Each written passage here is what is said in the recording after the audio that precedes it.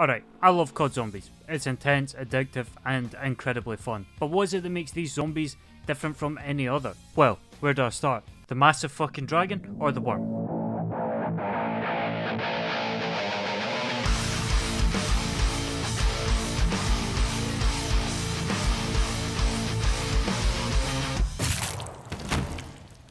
At its core, Zombies is basic, typically offering a lot less than its competitors, but yet, I've played COD Zombies over countless years and played so many other games trying to replicate that experience, and that includes COD itself. Like, what the actual fuck is this? I signed up for zombies, no extraterrestrial pest control. On the outside looking in, it's hard to see the appeal of COD Zombies. I mean, how is this fun? With many, including myself, arguing it's the fun and simplicity, because yeah, it is satisfying popping heads. But then again, what the actual fuck am I? What am I even doing? Was playing zombies, no Monster Inc. So what is it? Why has this simple game mode become a staple alongside the Call of Duty behemoth? Well, of course, I don't have the exact answer, but I do have what makes zombies special for me. It's the fact that George Romero is a boss zombie that clobbers cunts with the stage light, okay? Is that so hard to understand? For those who don't know, Zombies is a round-based survival mode, where you start with a weak pistol, earn points from killing zombies, buy new weapons, perks, upgrades and doors to new areas. On top of that, you typically have side objectives like getting the power on or, you know, satanic rituals, which will give you access to better tools like the ability to pack punch your weapon, or purchase alcohol, all to help you achieve your goal. Don't die. Pretty simple, right? For fuck's sake, it's round 3. What was the objective again? Most importantly, killing zombies is fun. Yeah, I, I know, it's a shocker, right? Being packaged in with COD, there's always been an absolute ton of fun weapons to use, with that consistent above average gunplay. It is COD after all, not exactly like the new to the shooting gig. Lining up a full train of zombies and splattering heads might as well be Crack's cousin, it's that satisfying. Or even, I don't know, uh, blowing them off the face of the earth. That's fun too. There's a ton of variety. Don't like a weapon, use another. There's a hundred more. No guarantee it will be good, but it will be different. The large weapon variety combined with the tasty feedback of heads imploding, limbs flying off, and the ever so satisfying trickle of points makes killing zombies a blast. That's not to mention the wonder weapons. The weapons nicknamed the wonder weapons because they're a fucking incredible. I really don't know what's so wonderful about this. It's, it's just a bow. Holy shit! The powerful weapons obtained from the mystery box or bing bam boom and you've got this. What exactly is this? There's been an insane amount of cool wacky weapons from the Thunder Gun to the Wonder Waffle, Cerberus or even the 3179 JJB215 the, the gun that makes the zombies small, which on its own is the best thing I've ever seen. But you can walk over their adorable heads and you'll have just committed genocide. Now that's epic. There's so many others I haven't mentioned like the Winter's Howl, which everyone hates for some reason. Mate, it's a functioning Tango Ice Blast. How could you hate this masterpiece? Every wonder weapon is an absolute thrill to get, and a great power trip but usually relies on you using the ammo as efficiently as possible just to balance them out. They also bleed into the strategies of maps, making unique strategies viable just with what they can bring to the table. And because some wonder weapons are map specific, this can lead to some maps playing completely differently due to the addition of one gun. Which leads me on to one of the most important parts of zombies, and that's its maps.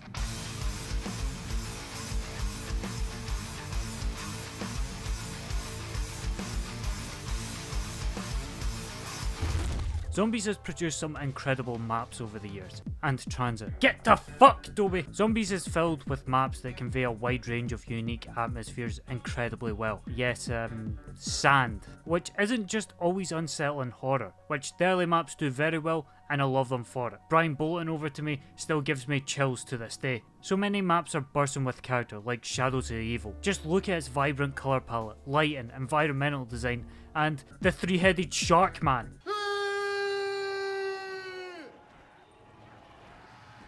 Every section of the map has been so well crafted, giving every area a meaning, filled with unique assets that make these areas a joy to explore. And if it wasn't clear already, I love how wacky Zombies gets with these maps. Ever since the beginning of Black Ops, Zombies adopted the fuck it mentality. Run about a cinema? Sure. Zombies on the moon? Why not? Have JFK, Nixon, this guy and fucking Castro defend the Pentagon? Well, that was a given. The maps are incredibly diverse. I literally don't know how you can get any more diverse than a World War II bunker to inside the giant worm's organs. I mean, compare the creativity to these maps to any other zombie game that's trying to replicate that Left 4 Dead original look. wrecked building after building, with the occasional fire or debris. Zombies games are littered with these repetitive environments that like to capture that close to reality zombies mix, as if the apocalypse just happened to our current world, which is cool the first few times. The next 40, I'm not too sure. But that's just visually. Gameplay wise I love them too. Because zombies are built to be simple and predictable, there's an emphasis on level design to create difficult encounters over the traditional ways like varied enemy types. Yep, there are special zombies, but they aren't core to the experience. They're more there to be pricks. Mate, you've just nicked my gun. Maps are typically confined to tight and moderately spaced areas that force you to be on edge and always moments away from disaster. Every room feels different with its own obstacles and dangers. Like there's this open space, great for training some zombies, and now there's a dragon. No, no, no, it's, it's cool. I'll just go somewhere else. Difficulty comes down to the maps with how much room and resources they give you. Just one room that's too big can make the map way too easy, which is great for making maps play completely differently, as strategies might be polar opposites, just down to the structure. These maps don't force you into one area, they give you full reign of the map to develop your own strategies and play in your own way. Not to mention the replayability of these maps as you try new strategies, take different paths, use different setups, all to help you reach a new high round, or just have some fun. I just love how much zombies makes you focus on your surroundings and movement around the environment. It takes simple movement options and turns them into a satisfying learning curve that you always assessing your routes, learning how to lead zombies, how to get past, creating and how to get out of difficult situations, which when mastered, it gets to a point where it's almost dance-like, slipping by tons of zombies by inches like it's nothing, that's a phenomenal feeling. This works so well because of the predictability and fairness of the zombies, because for the most part, deaths don't feel unfair, they're usually the player's fault due to positioning, lack of awareness, or messing up your train. You've also got power-ups, which are drops you get from killing zombies, ranging from max ammos, insta-kills, literal nukes, to carpentry. Yes, it's as useless as it sounds. They add an element of RNG that can assist or completely change the tide and lead to some incredibly memorable moments. For example, as a war hero I am, in this situation, I'm trying to save Exhibit A, also known as Steven. But there's an issue. There's a fuck ton of zombies, and there's no way I can revive them without dying. So I start blasting using everything I've got in a desperate attempt to get some breathing room for a revive. But they just keep coming. Steve is seconds away from dying and losing his gear. But the impossible happens. We get a nukes drop. I sprint into that thing and boom, zombies kaput, allowing me to revive Steve with no time to spare. It's moments like these that make me love this mode so much. We died 30 seconds later, but that's irrelevant, but they can still cause problems. Because they're direct drops of the zombies, they're always going to be lodged between the horde. So let me set another scene.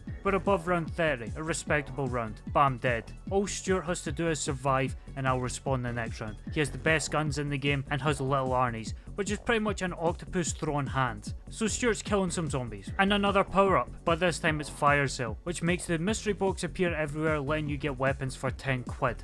But Stuart doesn't need anything out of it, so he wouldn't risk his life for it, right? Right?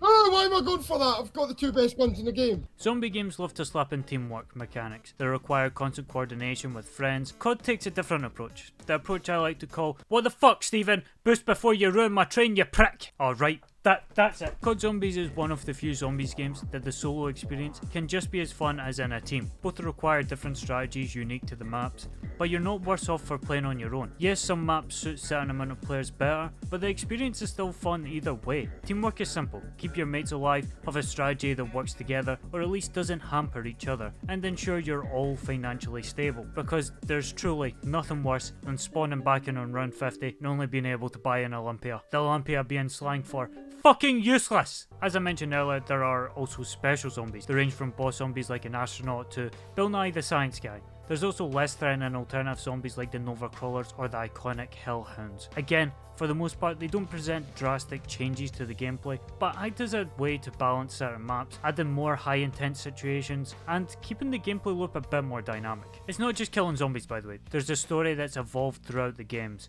A story which I can confirm I know absolutely nothing about. You follow multiple groups, but mainly the iconic Dempsey, Richtofen, Takeo and Nikolai, which are fun caricatures of their countries, which leads them to being literal opposites. Dempsey the American, his first name is literally Tank, and his personality could be summed up as in a Ooh, fucking raw, motherfuckers! Richtofen the German is a mad Volkswagen scientist, Takeo the Japan man is a man of honor, and Nikolai the Russian Billy drinks alcohol. They're great characters that work incredibly well together with fun dynamics and interactions. Although nostalgia is a massive factor, I love these guys. But characters aside, what's the story actually about? Well, it was originally just German stuntum experiments and zombies, but now I have honestly no idea, but we'll give it my best Scottish recap. Right, so there's a tentacle cult, civil war, some Germans experiment with some wacky 115 element, which leads to zombies. They nuke the earth at some point. There's Aethers, Agurthers, I think, what the fuck is, what? The Kronorium, the Primus crew, the Ultimus crew.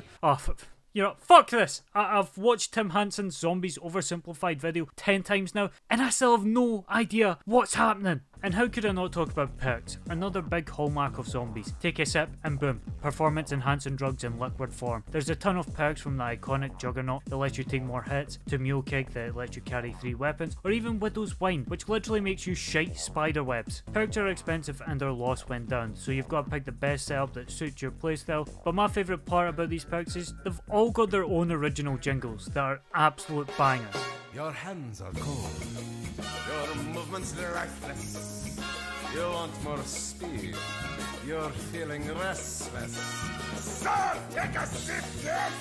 The care put into these things is just stellar.